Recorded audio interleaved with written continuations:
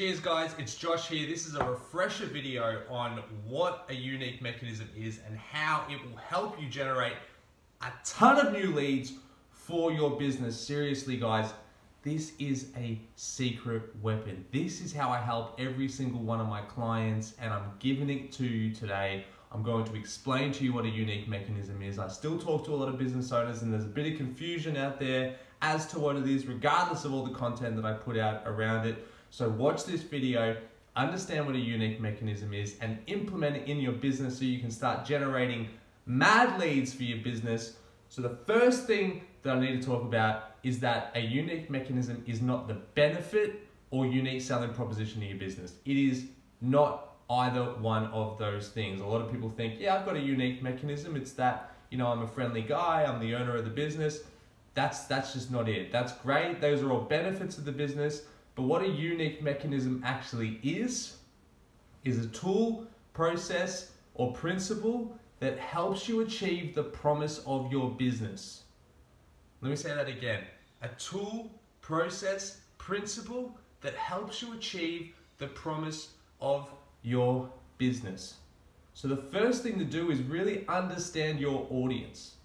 Find out what their pains and frustrations are. Find out what their habits are. Find out who they are. And then from that, you can create a promise of your brand, of your business. A promise that you can make to them that will resonate with that audience and get them wanting to work with you. The next step is to work out how you achieve that promise.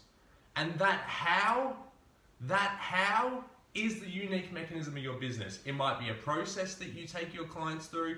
It might be a principle that you live by, a philosophy that you live by, or an effect that happens thanks to the way that you go about business. You know, it could be any one of those things, but that how is why someone needs to work with you and not the competition. Okay, so you have your promise, you have your how.